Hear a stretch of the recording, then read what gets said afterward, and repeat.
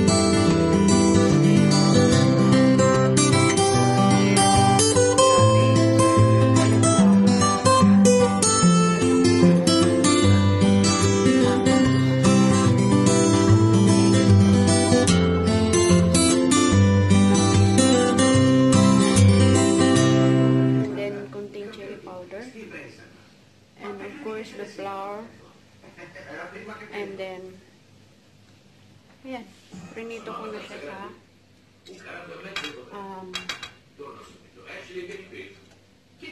olive oil. So, ayun mga palangga. Dito na yung ating Ciò che è successo tra Tony e Linda mi ha fatto capire quanto sia importante valutare la condotta dei miei dipendenti mentre lavorano al reparto vendite. Le cose non stanno andando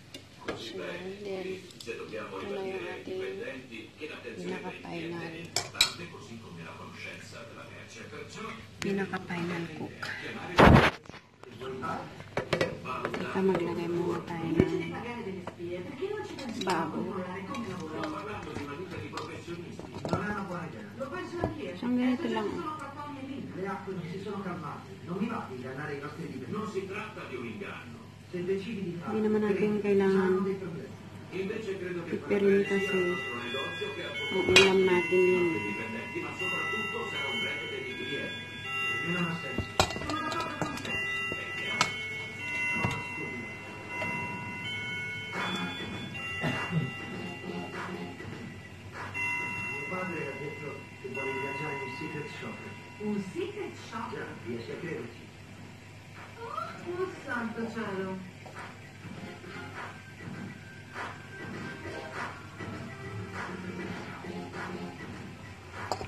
So, hindi ko na ipakita sa inyo kung paano ko siya ginawa kasi nagmamadali ako dahil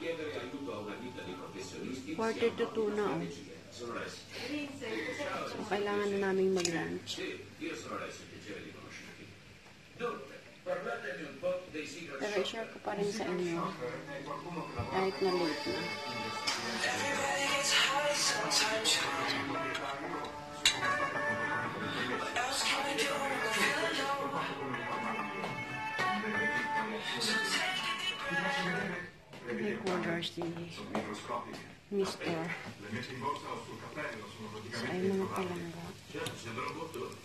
Ma parlando di tempistiche, quando inizieresti? Possiamo iniziare aking Sono davvero convinto che Steve e Lindsay mi daranno le risposte di cui ho bisogno na per migliorare ng American Jewelry e solo quando lo opportuno lo dirò a Lindsay. na. Grazie a te. So, ayan. May hotdog pa yan.